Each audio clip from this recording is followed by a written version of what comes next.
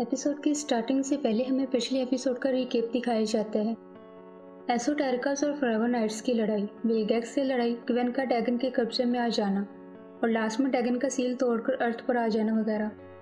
इस सीरीज़ की last episode में हमारी टीम डैगन और विलगैक्स से कैसे लड़ती है? और लास्ट में हम देखेंगे कि एक बार फिर से दुनिया को बचाने से बेन को क्या इनाम मिलता है। सो बिना टाइम वेस्ट किए हम इसकी एक्सप्लेनेशन की तरफ़ बढ़ते हैं। हमारे हीरोज के सामने एक नया चैलेंज होता है। डैगन बिल्कुल इनके सामने होता है। जॉर्ज अपनी एस्कलन से डैगन के सर पर जरब लगाता है। डैगन के सर पर निशान बन जाता है। डैगन विलगेक्स को हुक्म देता है कि वो इन सबको ख़त्म कर डाले, पर विलगेक्स तो वहाँ होता ही नहीं है। डैगन बार बार उसको आवाज़ देता है, पर विलगेक्स ना होता है और ना ही सामने आता है। जॉर्ज उससे कहता है, तुम्हारा वो सो कॉल्ड गुलाम भाग गया है। जिस पर डैगन कहता है, मेरे पास अकेला विलगेक्स ही नहीं है। इतना कहकर डैगन बहुत से एसोटारकर्स बुला लेते हैं। वो सब जॉर्ज को घेर लेते हैं। जॉर्ज अकेला ही इन सब का सामना कर रहा होता है। केवन अपनी प्लम्बर राइफल कहीं भूल चुका होता है। गन अपने मैजिक से केवन को गन ला देती है। बेन इन दोनों से कहता है वो जॉर्ज की हिफाजत करे और खुद बेन डैगन की तरफ़ जाता है। गन बेन से पूछती है कि वो क्या करने वाला है, जिस पर बेन कहता है, मैं कुछ बड़ा करने वाला हूँ। सब जल्दी से जॉर्ज के पास पहुँचते हैं। जॉर्ज सब एसोटर्का को ख़त्म कर डालता है पर उसके साथ ही और बहुत से आ जाते हैं।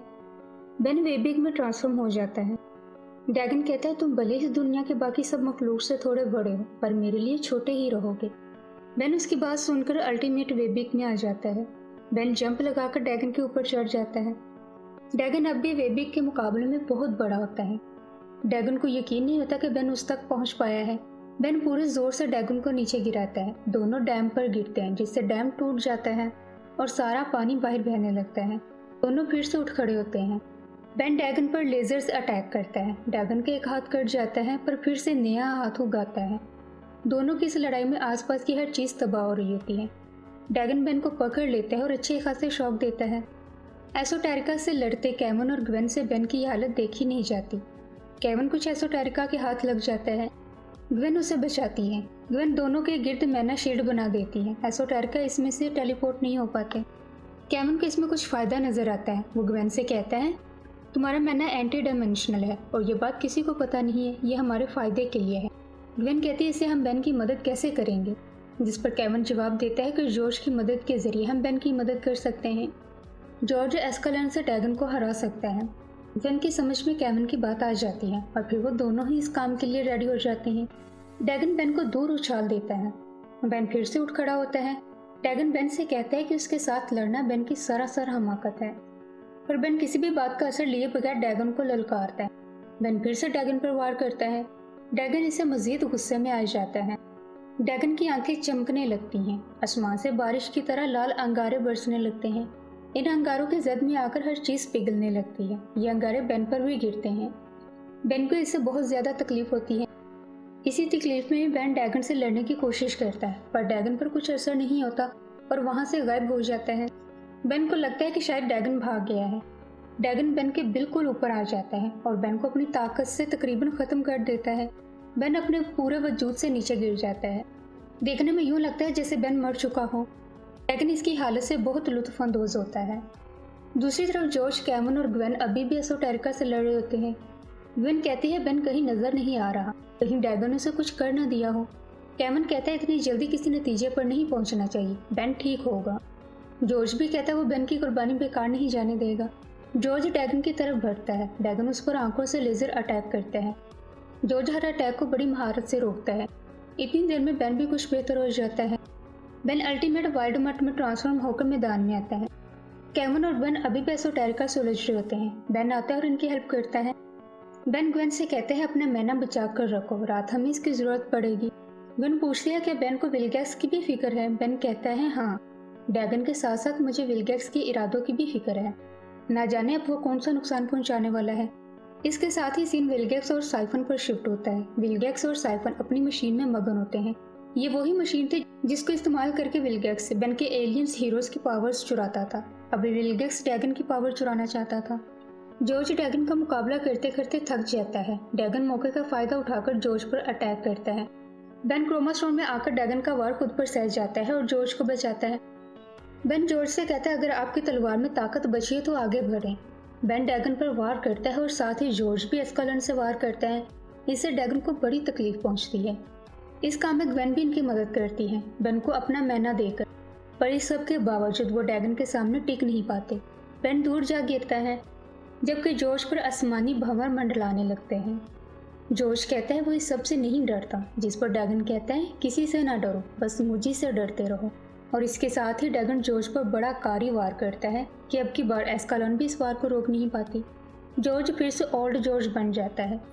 जॉर्ज के हाथ से इसकी एस्कालॉन भी गिर जाती है और फिर जॉर्ज पत्थर का मुजस्मा बन जाता है।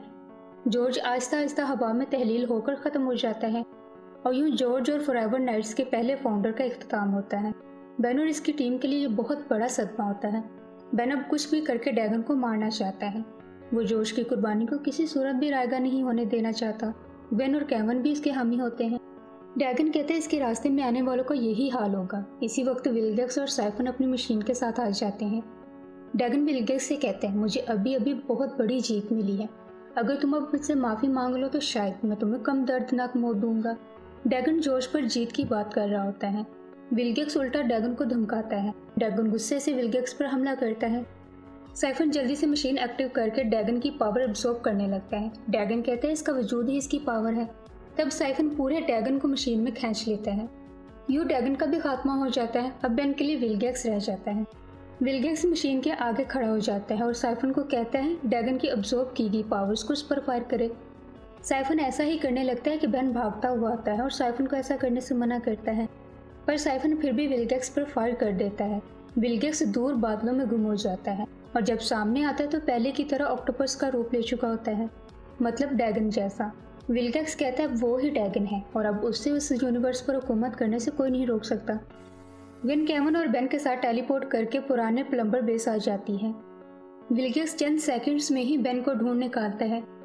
वेन बेस का सेल्फ डिफेंस मैकेनिज्म ऑन कर देती है और इनकी तरफ़ बढ़ते एसोटेरिकल्स मारे जाते हैं।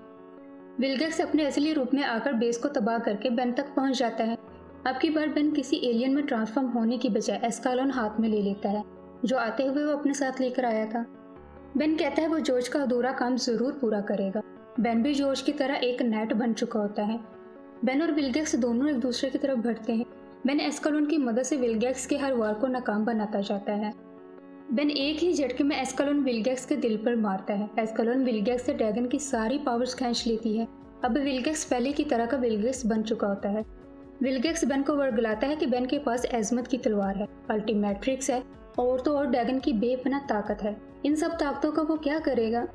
बेन कहता है, सबसे पहले वो इस यूनिवर्स के लोगों को ठीक करेगा, जिनको डैगन ने एसोटारिका में तब्दील किया है।